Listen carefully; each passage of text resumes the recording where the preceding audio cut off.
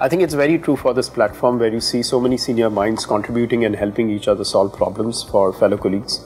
Uh, I think what it does is it helps you think of the same problem in different ways that you've not thought before and apply your experience to someone else's real life problem.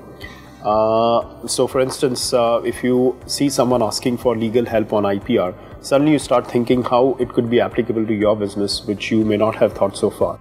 So, uh, I really think it uh, helps you and your business be ahead of the curve and be ready for future challenges and the new age challenges that the environment throws at you.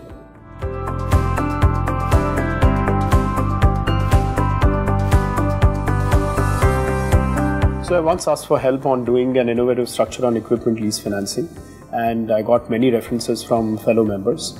What it did was it gave me an opportunity to talk to a few people, and uh, very interesting insights came out of those discussions. Similarly, when you are hiring a candidate for your team, uh, it really helps to get a reference by a senior colleague who that person might have worked with. And I think it's immensely helpful when you have someone with known positive reference. It cuts down your time to hire and ensures a good addition to your team.